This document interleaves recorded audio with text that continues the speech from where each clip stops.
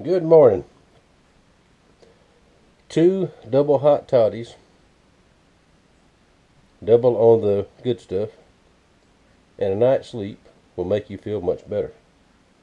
Much, much, much better. Now, I had a question from yesterday's video about what kind of steel do I use. Now, sometimes it's easier just to show you instead of just telling you what it is. Now, I use mainly recycled scraps, this and that. A lot of saw blades like these. These are 10 inch saw blades. Uh, 12 inch ones are better, but my 12 inch saw blade supplier, I reckon, is mad at me. But uh, that's okay. Um, I got a bunch of these 10 inch. Now on the saw blades, I use only a quality blade like these Oldhams. That blade right there, that one blade cost you $50 at most places. Um, the ones you get at Harbor Freight, you know, those saw blades, they may get you by in a pinch to cut a board with, but they will not make knives. I've already tried them. They're very, very inferior uh, steel. You don't know what it is. You really don't know what these are, but uh, especially the old USA made ones are very good. I've got a bunch of those out there too. I believe Oldham is still made in USA. All right, this one, this is a thick, heavy blade. Doesn't have a label on. I don't know where it came from, but it appears to be good steel. So this this type of steel.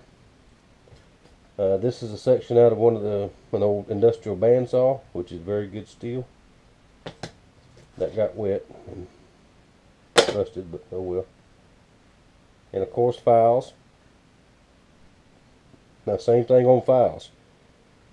You're going to use a file, that is a Nicholson USA, made in USA. Now you can still get Nicholson files, but they're not made in USA anymore. And they're they're okay for files, I guess. The only problem with them is, as far as knife making, the steel quality is not consistent like it was years ago. And that goes with all the brand files, like the ones you get at Harbor Freight. Got to heat them and anneal them in a fire, and chances are they're going to burn up and melt on you. They're not not worth fooling with. But uh, these mainly files are you I usually forge those, uh, but you can stock reduction those too on a bigger one, which I'm going to do here with this one. Uh, Farrier rasp like this. I showed y'all these the other day. My buddy Tim sent me. Uh, these are very good. And these are wide enough and not quite so thick so I can stock reduction that too. Which this is, part of this is going to be my new carry knife. And I'll show y'all that before the week is over with. Other things, uh, my buddy Paul sent me a bunch of these. These are blades off a piece of farm equipment. Uh, I believe it's an old combine or a disc or something. And I just realized looking at my paperwork the other day, I still owe Paul a knife. I forgot, buddy. I'm sorry. I'll get it done. But that type of thing. Uh, now the 1095s and the O1 tool steels and all that, I have used all that before, and that is much, much easier to work with than this stuff. Because this stuff, I have to get it shaped, annealed, work it, and reharden it. And now with the, the ten, mainly the 1095, when you order that, you get whatever width you want, basically. Whatever thickness you want. It's already softened, so you can just go straight to work on it. You don't have to do a lot of steps. The drawback to it is, it is expensive. Now the steel itself is not so bad um, price wise. If you were close enough you can go in and buy it. What gets me, well what gets you on the uh, steel is the shipping. Uh, I ordered, the last that I got was like $30 worth of steel and it was $36 to ship it. You know, so right at $70.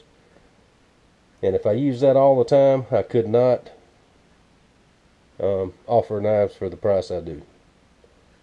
That's why you see a lot of custom builders that use that kind of stuff. That's why their stuff is so high. A, a lot, a lot of reason is because the whatever material you use, you got you got to uh, compensate your money. And if I make a camp knife, that one's ten ninety five right there. That one out of ten ninety five is going to cost me at least 10 15 dollars more to make than one of these. makes sense? Uh, I'm fixing to retire this one and I'm going to get my new one done. And I think uh, Master Sergeant has already spoke for that one. Have not heard from old Master Sergeant a couple days. I'm going to have to call him and harass him.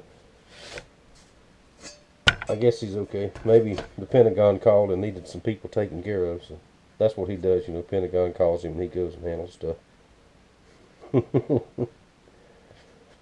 Call me, Air Force. Alright, so there, just to answer your question about the steel, uh, basically any kind of scrap I can get a hold of. Now I've got more stuff out there. I've got coil springs, I've got leaf springs for forging. I've got old chisels, old more old files, I got all kind of stuff. Basically any kind of old, old quality steel will uh will make a knife. Alright, that answer your question? Alright, we get I got to get going. I'm a day or a day and a half behind from being sick. So I'm okay now. So I'm gonna get to it. And whatever I get done today I'll show y'all after a while. Alright, it's time to go in. It's uh only almost three o'clock, but I don't want to overdo it. I've got roughed out, ready to grind and etch. One, two, three, four, five, six, seven, eight. And there's two more over there. Ten blades this morning. I think I did pretty good. Like I said, I got final grinding. Not final grinding, but got more grinding to do. I got this one. That's going to be mine with that. And I'll show you all that later. Unless somebody falls in love with it. Y'all know how that goes. So, Let me show you something else I got right quick. Um, yesterday, Ricky Jr. brought me my new cards. Uh, he ordered them and printed them up. Now, the only difference in these and the old ones is this one has the website on there. Because when we did the first batch of cards, I didn't have the website back then. And, uh, y'all see that? But in every knife order, there'll be one or two cards in there.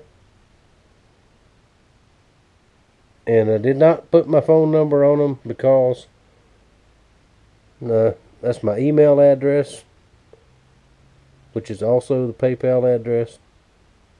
Uh, Facebook page is there. Uh, YouTube channel is there. Now the website is there. So all that information's there. Thank you, Ricky Jr., for getting those for me. Because I tell y'all, when it comes to doing stuff like that, ordering stuff like that, I have no clue. And he can just, you know, and he's, there it is. So I'm going to go in for today. Actually, I've got to go build a fire in the grill. It is Valentine's Day, which I sort of almost, maybe, sort of, a little bit forgot. Was not prepared, so I think I will build a fire and I dug through the freezer and I found some, a couple of steaks. I think I'll cook Mama a steak and uh, baked potato and whatever else I can find in there to cook. So I'm going to try my hand at cooking for her tonight, which I can cook for me, and I like it. But a lot of times everybody else don't like it. So, but I think I can manage a steak and a potato and maybe a piece of sausage or something like that. If it goes on the fire, I can handle it. So, y'all don't forget. Uh, grab your Valentine, give her a kiss. Unless she's down with the crud, like Mom is. and I think I'll stop right there before I get in too much trouble. But uh, do something. Do something. And uh, and for goodness sakes, folks, don't buy her a Valentine's gift like a vacuum cleaner or a dishwasher or uh, a broom or something. Don't don't do it. Don't do it. Old man talking from experience there. So. All right, I'll get back out here tomorrow and get back on these, and I'll show you what they look like. Uh, close to being finished and what it looks like. But, uh, oh, let me tell you what they are. Bait knife. That already came in just a little while ago. Bait knife. Camp, camp, camp. J. Skinner. J. Skinner. Neck knife. Those two will be available. How about that? That was mine. And one Ulu is all but done, and the other one will be ready here and there too. And I'll show you all that maybe tomorrow. So, thank y'all for watching. Thank you for your support. New subscribers, thank y'all very much. Uh, thank you for being here. I hope you learned something. I hope you enjoy it. If you don't, say, hey, dummy, we don't like it. So, I am not above criticism. Uh, if I do something y'all don't like, just tell me. Uh, if I forgot anything that you wanted I was supposed to send to you, like uh, Brother Paul, I'm sorry. I'm going to work on yours tomorrow also. If I forget you or forget to do something, send me a message and say, hey, idiot, you forgot this and you forgot that. And so, uh, Ronald, that wood you wanted is going out the next mail out. Because I am, uh, I do tend to forget things sometimes. That's why I write everything down. But sometimes I forget to write stuff down. So, uh, if I have forgot you, I'm sorry. But just please let me know. Alright. I'm going now. Uh, once again, thank you for watching. Thank you for your support. And I will see y'all tomorrow.